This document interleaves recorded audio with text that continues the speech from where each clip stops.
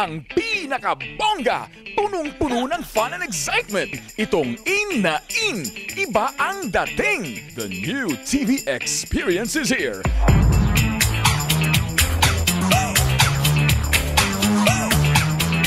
Hatao Pinoy Chicago. It will change your viewing habit. It's hip, sassy, ang galing-galing. Hatao Pinoy Chicago. What's up, y'all? This is Apple, the Apple, the Black Eyed Peas, and you're watching Hot Tao Pinoy Chicago. Yeah! Ayan. Nagugutom na ba kayo? O, yung mga nagugutom, pwedeng kumain dun sa Sunda. O, di ba? You got a taste of Sunda. And uh, they're serving a lot of Filipino food. And also, San Miguel.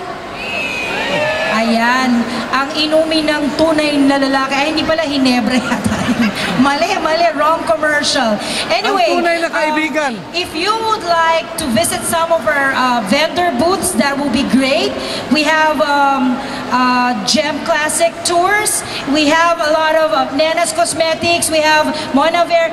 We have a bajillion vendors uh, serving our community. We have a fire on board here. So if you are interested in finding out more about the Filipino community here in Chicago, please go around the Crystal Gardens and you would be able to find out more about our community. We have some organizations represented here. Oh, uh, excited na ba kayo for our next set?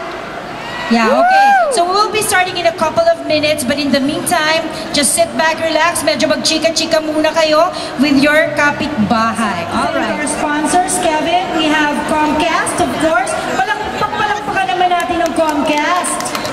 Yan, and GMA Pinoy TV put up this production without the invitation from the people of Navy Pier. And sino pa papasasalamatan? Ang Philippine Consulate General, of course, Mr. Bert Salvador. Nasa na si Tito Bert? Very hardworking and our congen, Leo Herrera Lim and his lovely wife, Fides Herrera Lim, they're here. At of course, our hermano and hermana mayor. We'd also like to thank um, all the organizations and the performers who are volunteering their time and talent to this wonderful, wonderful fiesta. Thank you very much, Kevin, also known as the president of the Manny Pacquiao Fan Club. Who are fans of Manny Pacquiao here? Ay, wala. Walang fan si Manny Pacquiao. Sinong fan si Manny Pacquiao? Yeah! The Pac-Man. Dami talaga. Anyway, we have a lively set coming up. And our, if our first set uh, displayed are being hopeless romantics. Diba? Ganda ng mga sayaw kanina, diba? And this set naman, we are presenting the cheerful side of Filipinos. That's right.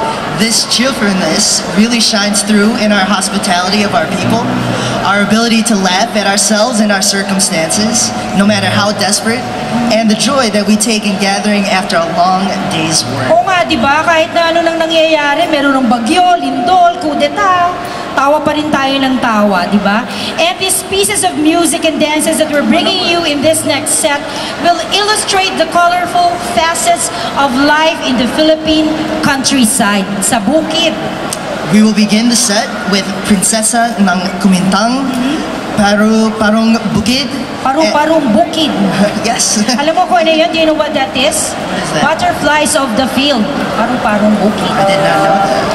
And sa Kabukiran from Chicago's Angklung and Randalia Ensemble. And they will be followed by the Sulia Filipino Cultural Dance Company with Kuratsa, Bilaklakan, and Maglalatik. And then the group of St. Isidore Simbang Gabi will dance Sit Sirit Sit and Binoyugan. Lane Teka Pamilya Habang Buhay will perform their world-famous Sayaw sa Bangko. Wow!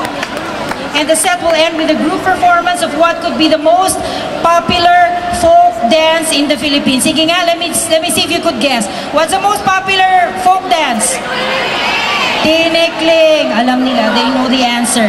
So ladies and gentlemen, please welcome our local Chicago talent,